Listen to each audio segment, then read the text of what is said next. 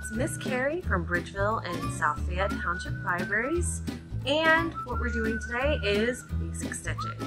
So I'm a beginning sewer and I found this amazing tutorial for um, 30 day stitches off of Jennifer Jangles at, on Etsy and we're going to try it out together step by step. So let's see what you'll need. For this craft, what you'll need is an embroidery hoop, some fabric, needles, embroidery thread, and scissors. All right, so today we are learning the fishbone stitch. Put your needle through the back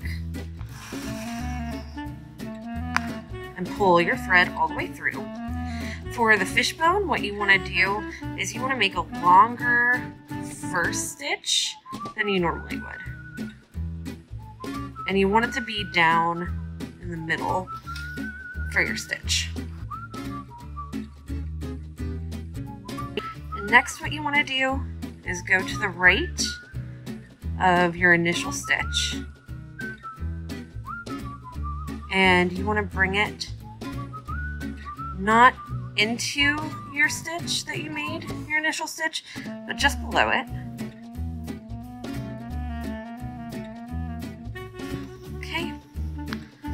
And then you want to do the same on the left.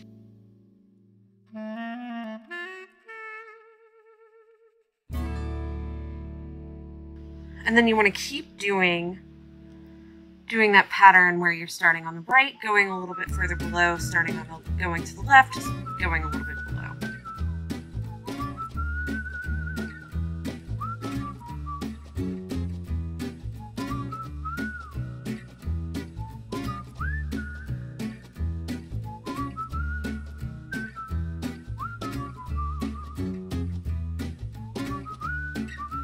So like you all know, I'm a beginning sewer.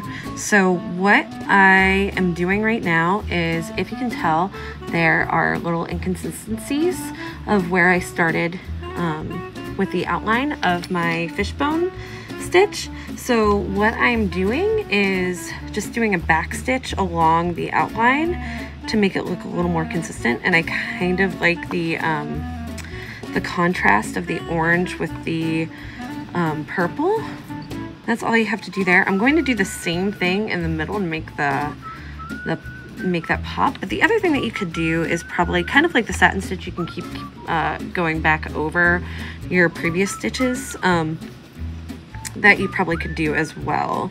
But this is what um, I chose to do for this one. And as always, if there's something that I'm doing wrong or saying wrong and you've done this stitch before, feel free to put in the comments um, better ways or techniques that you know of. Okay, and then that is how it turned out. I accidentally messed up one of the stitches in the middle right there, but otherwise I think that it looks really good um, other than the inconsistency of the lengths, but um, it looks pretty cool, I think. So that is how you do a fishbone stitch.